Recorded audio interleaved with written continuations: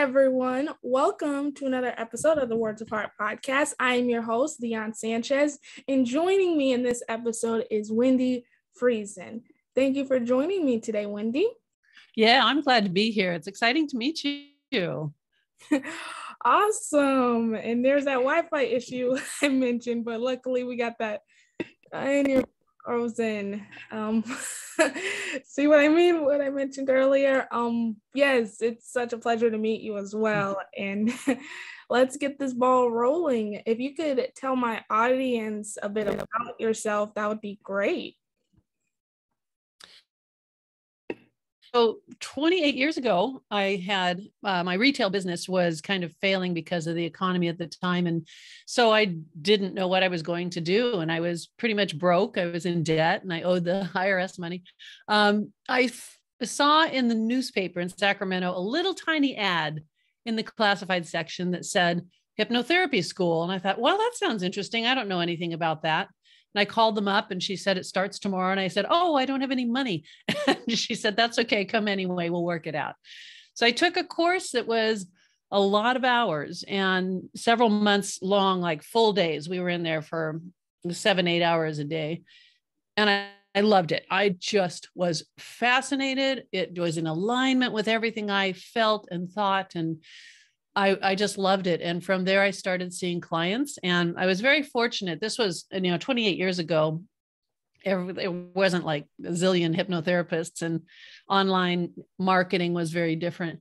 But I was just very fortunate to do great with people and build my um, business. And now I get to fly all over the world to help clients personally, one on one. And that's very fun. I just got back from Miami from a client. Awesome. So, um, do you find, and I've, and I know hypnotherapy has been pretty pivotal during this season. Um, do you find it your um skill set with hypnotherapy to be really um what's the word I'm looking for? Um, very slightly demanding considering we're still in the pandemic right now. Yeah, it's a little bit tougher to do sessions on Zoom or online. Like sometimes my client, if they're on Zoom, if they get a little bit too deep or I feel like they're drifting off, when I'm in person with them, I would touch their shoulder and say, stay right there in that moment, but just bring your consciousness back to what we're doing and nod your head when you're ready. So I can keep them alert and aware. But on Zoom, sometimes you just you can't uh, get them to come back out of the trance state they will on their own eventually but yeah yeah sometimes it's challenging so um do you think you can give an example or share how you do th- hypnotherapy i mean i have had a guest um previously who explained hypnotherapy a little bit but i'm sure there's many different approaches and techniques to it. Do you mind sharing any of your techniques with myself? Oh, for sure. Yeah. And, you know, one thing for people to keep in mind is that there's a lot of opportunists out there that are giving hypnotherapy certifications that they're not qualified. They don't have years in the business. They are just teaching something they read out of a book and they don't know if it's you know something that works or not and they're not maybe learning from the experts. So you got to be really careful first of all about who you choose to be a teacher of hypnotherapy. One of the things i do is regression to cause and regression to cause means that when you're relaxed and you're lying there in your recliner with me i ask you to find that feeling you have. For instance we could use uh, fear of flying as an example and one of my clients that had a horrific fear of flying she oh they had she was on a plane trip. They had to turn the plane around and land it to let her out. It was so bad. So anyway i did regression to cause and i said notice this feeling you have about flying and notice where you feel it in your body. And then i asked her to go back to the very first time you felt this feeling the very first time and just go all the way back and know that you're safe no matter what it is. It's okay to go and find that memory, just go all the way back. So you guide them back. And then she goes into a small plane and she's about um, five years old, six years old, she said. And she's flying in a small plane around Niagara Falls. her dad is in the plane with her, and then there's also a pilot. Her dad sits her on his lap and has her grab the yoke and say, okay, you're going to fly the plane now. You're flying the plane, even though obviously the pilot is. Right. And it scared the crap out of her because as a little girl, she thought she really was now in charge of flying this plane and it scared her so much.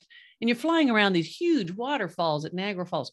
so with this, I had her adult self go in and take that little girl out of there to a safe place and explain that fa- dad was just joking around and you weren't me you weren't supposed to be flying the plane and you're totally safe. And now you're going to go back into that plane but you're going to have a lot of fun looking at all the pretty things and the waterfalls and everything.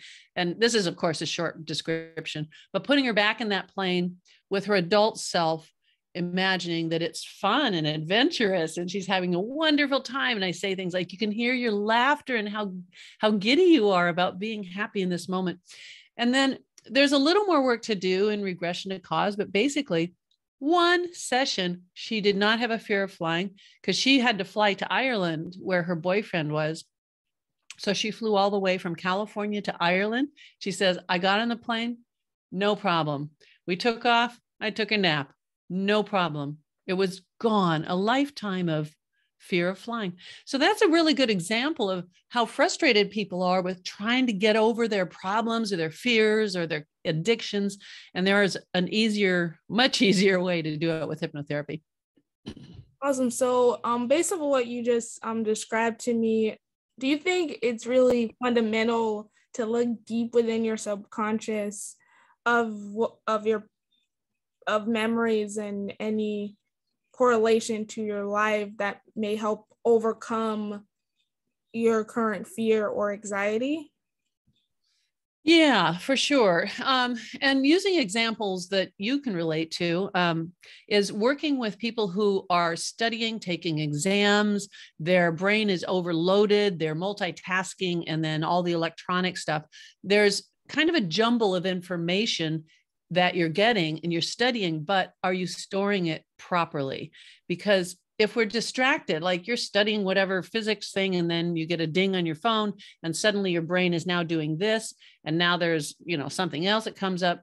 We need to compartmentalize the information that you're studying and memorizing. So we do that by not being distracted. But the other thing I do, I've done this for a lot of students, is to create um, an imaginary machine in their brain and that machine is going to take over a lot of the complex tasks in memorization and recall and ability to put that information together with some other information. And one of the times that I did this for a woman, she was trying to pass the bar exam because she'd failed it three times. And it wasn't for lack of studying, just she just didn't have things organized properly. So I made these machines in her brain. She said they look like little houses, and each one has a different purpose. And her brain just totally made this series of these little houses. And so this one, she says, this one has the torts in it. So whenever you're studying about torts, make sure you open that little house, right? And it's just an image, but it performs a function. And then she had one that was about some other decisions and all these different cases. And she said, now the, the little houses are connecting to each other. They're sending a connection if they need information from this one and this one to answer a question. So, anyway, she passed the bar exam and it was easy for her this time because her brain had organized all that information in there in little houses. I love your analogy of little houses in your brain. I just find that to be an interesting way of describing how our mind works and the mechanics of it. Um, I for one have trouble navigating things. Like I have a this podcast obviously in work and school, and it's just a lot to try to figure out oh is this red or this yellow? Or do i get this yellow wire or this red wire? You know a little spy knowledge there but it's almost the same exact principle. It's just trying to figure out what's the right part to work on and not have it all come crashing down. So yeah. Yeah. And and that is why we need to lower the stress involved. Watch out for things that we're we're talking about that are like for failure. For instance saying oh my gosh i studied but i just can't i just i don't i can't take the test. I'm going to fail. I'm just going to blow it. Well if we create negative statements that connect with something in our life an event that we're going to be doing we're just going to access fear and doubt and all of the negative things that you know we can connect with all the past experiences of negativity or failure. So that is one thing that anybody can fix right away. And if you're you know your life is real busy but maybe sometimes you say to yourself oh my god i'm uh, too busy. I have too much to do. I don't know what i'm going to do. You're creating this stressful state and you're activating your brain to support that stress. And instead what you want to do is have a state of mind that one of mine is I say, everything is going to be okay. And I say it to myself in a voice that says, Everything's going to be okay. Now I just feel like this calm. And now I want to create a resourceful state, which would be I have all the information to ace that exam. I know I do. And I'm just going to let my body remember, let my mind remember, and it's going to be easier than I imagined. Now your brain is accessing all the emotional things, the memories you've had, all the really good resourceful states about being relaxed and calm and knowing you're going to ace it. And that's what we need in order to perform at a higher level. Absolutely. And I do find that to be hard for many others during this season because this pandemic has affected us deeply and mentally and emotionally. Yeah. It's a lot for our own brains to um, adapt to and handle in itself because we're still two years into this, unfortunately. Yeah. Yeah, that's a tough one. And one of the things that I've been noticing from my perspective of how our brain reacts and responds to things is we're not seeing smiles. So we're not seeing acknowledgement. And if you notice how much you used to see that and how much our brain is looking for that, it's like, am I being rejected? This is just happening below your consciousness, but I'm being rejected. People are not smiling at me. If I say hi, I don't even know if they're saying hi back. And it's just an interesting thing that when we don't see that, that joy and that happiness, it makes us internally become sadder. Absolutely. I think this, I mean, it's brought some positivity and reflection, but it's also brought some negativity. So it's hard to walk down the street with a smile. And also, you're covered in a mask. So you don't even you can't even interact on a human level like you would normally do. Yeah. And what it's doing to the children as well, for them not to see the smiles and the engagement in their very formative years where they're supposed to be learning from seeing faces, because we learn a lot from seeing other faces when we're really young. Absolutely. So I want to get to the icebreaker part of this conversation. I'm enjoying this conversation. the icebreaker, though, is a little bit my favorite part. Um, okay. Um, so um, I'll start with the icebreaker question. Um, I think you'll enjoy this. It makes your brain think a little bit. so if you had to come up with a title or a chapter for where your life is at right now, what would it be? Mm, mm. And if you can explain why, that would be also great. I am, uh, let's see, how would I make the title? It can also be a chapter. It doesn't even have to be a title. the it's I know this is it's so overused, but it would be finding my bliss because I moved to Hawaii a year ago because of the pandemic. And I thought at least I'll have an environment that isn't going to be winter, dark, cold snow in uh, Colorado and also being in quarantine who knows for how long. So i moved here for that reason. Um, the, the word bliss is just so overused because we rarely really get to experience actual bliss. Right. And i'm looking at all the things here that just feed my soul every day. And i on facebook i made a list. The first one is i drive 25 miles per hour because the roads are very people go slow. They're just little nice roads along the ocean and stuff. and I drive 25. I have two favorite trees. This one is blah, blah, blah. This tree, blah, blah, blah, when I drive by. And these spots. And I have all these little places around here that when I drive by them, they have something connected to my bliss and my calm feeling and feeling like, oh my gosh, I can actually live my life. Because I have a lot of friends now that we don't wear masks like when we go to dinner and events because we're all vaccinated and stuff. But it's like, oh, smiles. I'm getting my bliss back. I think that's a beautiful title considering everything that's going on right now. Um, my title or chapter for where my life is at um, currently would be a warrior for change. Um, I've undergone wow. a lot in my life. Um, just to give you a little feedback into how I sort of been affected by the pandemic. Um, I actually got diagnosed with diabetes in January, oh, which would make it two years. So hard to believe that. I've been diabetic for two years and this pandemic's been going on for two years. So um, I've undergone a lot of stuff in my life health wise and mentally and emotionally and i feel like a warrior really symbolizes who i am right now and where my life is and will continue to go from this mm. point forward. Wow that is beautiful. I love the warrior part because that has such such good intention and a positive statement and it is that you're unstoppable that nothing is going to get in your way because you're a warrior for that. Yeah wow yeah, big life change to find out you have diabetes. Yes, during this virus when there was no vaccine yet when I got this news. So that was just a big old bucket of jumbled worms trying to figure out how to adapt to this new change while also adapting to this pandemic. Yeah, so yeah. I survived it. I'm va- fully vaccinated and um I my prayers go out to everyone who's still trying to get through this season. So yeah, yeah.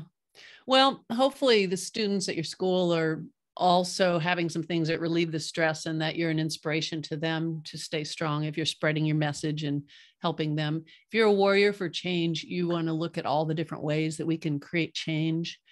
Uh, for me, of course, the hypnotherapy training and the experience I've had in the last 28 years has been the most phenomenal thing to have like in my face every day if I catch myself, like if I knocked over my coffee, I might say, oh man, I'm so clumsy. Like I wouldn't say that, but most right. people do. They have an inner voice that tells them and reinforces the negative thing you don't want.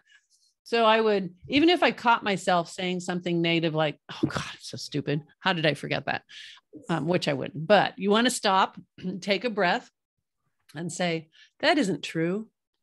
I'm really smart and I'm resourceful. And I know a lot of things. Just say something that changes so that you don't keep loading your brain up with all these negative thoughts, feelings, images, because that is a the one most uh, just devastating thing you do to yourself. So as a warrior of change, if you hear people saying something that's negative or putting themselves down or saying, I just I can't get myself to prepare for that exam or whatever, say, well, maybe you want to change your wording.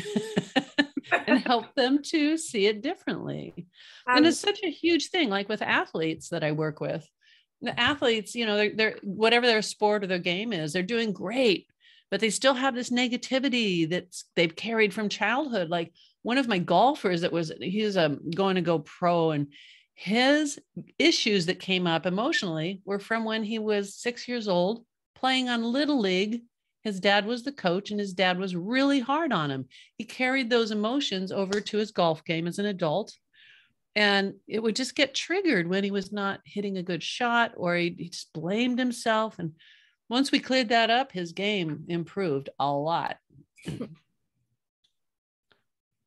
Awesome. So on to the next part of this little icebreaker segment is my icebreaker game.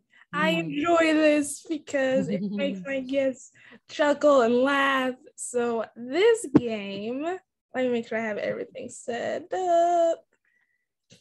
Okay, I have my timer. Okay, so this game is called Song Association. You don't mm-hmm. have to be an avid singer. You can even be a shower singer and be good at this game. It is okay. really quite fun. So basically, how the game works is I give you a word, I give you a word, and you can either sing it, rap it, shower sing it, however you choose to do so. Um, either it's in the title, it can be in the title or in the lyrics, but you have to actually sing it. That's the key. You have to actually find a way okay. to sing it. You know, um, however, you have 15 seconds. See, the brain, the brain needs to be on your side for this game a bit. you have 15 seconds from the second I give you the word to either have to sing it in the lyrics or in the title. okay. All right. Got it. Brain game a little bit. so the first word is, let me make sure. Yep.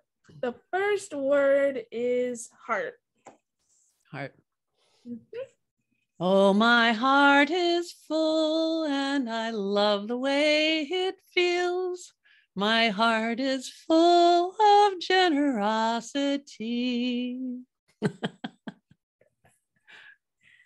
I believe you that's an actual song. I don't think I've ever heard it. I just made it up. Swear to you. made it up? Oh, that's yes. oh, I need to start mentioning this in the game. You can't make up songs, but that's a good song that you made up. So. Oh, so I'm supposed to do a real song?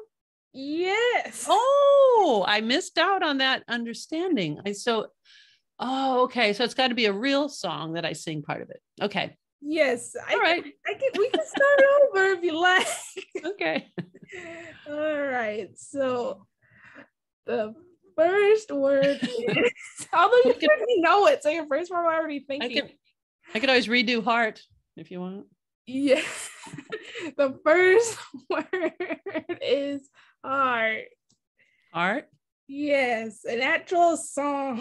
She's a heartbreaker, dream maker, love taker. Don't you mess around with me. She's a heartbreaker. I don't know the rest, but that's pretty that's good. A song. That's a song. That's a song I know fairly, fairly well. And I don't think any guest has given that song as an answer before. So I find that to be awesome. Okay, so the next one, again, you can't make up the words. I might have to come up with a new game because many guests want to make up songs. That's not part of the game. Uh, so the next word is words. Words. Mm-hmm. Oh, very simple. Okay, this is an old, old song. Only words and only words will. What are, what's the lyrics? Uh, to break your heart today. Oh shoot! What is that song?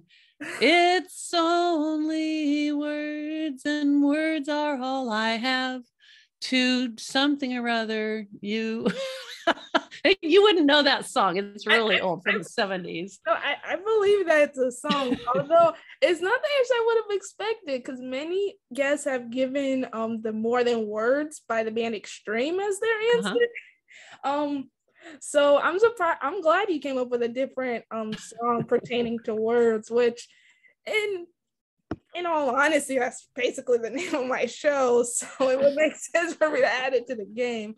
So the last one, I feel like I should change the last word and make it a little difficult, but I'm gonna be nice and leave it alone. So the last word, da, da, da, the last word is faith. Faith? Mm-hmm. Oh, Gotta have faith, faith, faith. Oh, gotta have faith, faith, faith. Oh, that's the rest of that. Gotta. That's all I know. I believe you. You know that song? Who is that? That's um.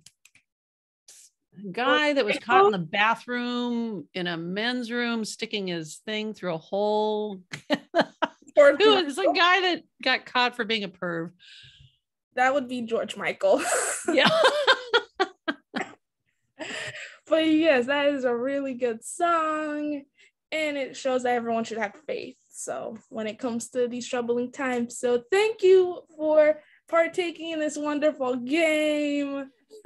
I told you you don't have to be an avid singer to understand it.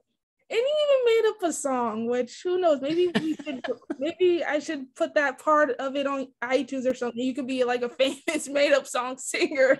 So actually I I've written and performed some songs. Like one of them was for um, someone who was running for the, the, Senate, And I wrote a song for him and performed it at his fundraiser.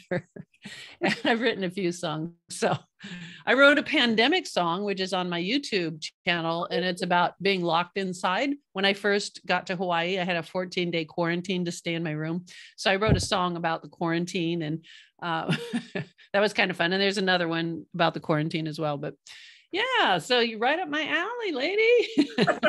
I'll have to look up that pandemic song on YouTube later. I would love to hear that, and I'm sure many of my audience would love to hear that. Um, yeah, I'll find the link for you. So um, we can keep talking about music all day long, but unfortunately, we're at the end of this wonderful, wonderful episode. Um, do you have any social links, any song links, if you want? To share with my audience before we wrap up here? Yeah, well, I think the message that I would like to give to everybody is no matter what the problem is that you're you're wrestling with or the thing that makes you feel stuck or you're depressed or you have fears whatever it is, just know that hypnotherapy would often be the easiest and fastest way to get past that. And as students in school, for you to understand how your brain works with, you know, memorization and stress and all the things that are happening to learn about hypnotherapy and use it on yourself to make your studying better and recall better and uh, get rid of test anxiety and all that. So that's the main thing is you know you might find someone at your school that is learning hypnotherapy and they can help you out as well or you can learn self hypnosis or listen to a recorded session to improve what's going on because you just you don't have to struggle like you're struggling. You can really let go of a lot of your fears and your holdbacks and your being stuck. Anyway that's what i think is really important. Awesome. Um if any of my audience wanted to get in contact mm. with you how would they do that? Uh, my website is at wendi.com and you just have to spell it with an i so w-e-n-d-i.com and then there's contact there so you can get in touch with me um, and ask me anything. Just send me email and ask me anything. I will reply to you and help you. Awesome, Wendi. Do you mind repeating that l- that literally that last part? Because my computer decided to go cuckoo while you were explaining that. Um, the Yes, the way you can get a hold of me is at wendi.com, W E N D I.com. And there's a contact form there. You can get in touch with me and send me an email, ask me questions. I will reply and help you. And I have a lot of free stuff that will help you as well. So just wendi.com with an I, not a Y. and I'll help you. I love to help. I love to help people, especially students. I am all about making sure that you're having the best possible time in the work that you're doing in school. Awesome. Thank you again for joining me, Wendi. This was a wonderful, wonderful conversation. Yeah, thank you. Yeah, I look forward to it. I mean, you know what I mean. Right, I know what you mean. I look forward to when it comes on, when it goes live, and everybody can yes, which I'll go into detail in a few short moments. To all my listeners, thank you for listening to the latest episode of the Words of Heart podcast. Again, I am your host, Dionne Sanchez. Thank you again for joining me, Wendi Friesen.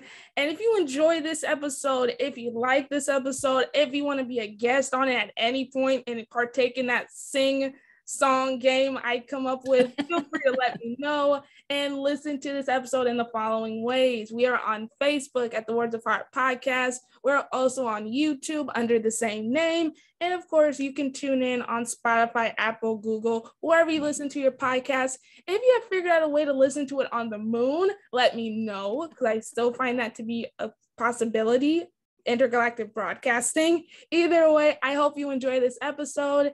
And if you want to share your own thoughts or stresses or struggles, feel free to contact Wendi or myself on Instagram at HeartWarrior25 or on Twitter at HeartWarrior24.